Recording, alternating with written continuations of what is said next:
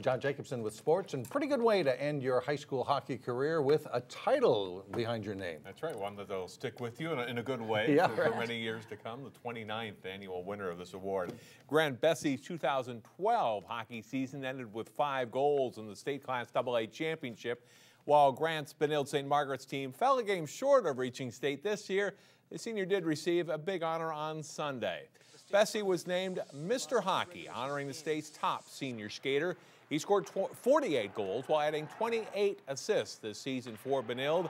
Next year, Besse will play collegiate hockey at the University of Wisconsin. A panel of collegiate coaches, pro scouts, and selected media members vote for Mr. Hockey.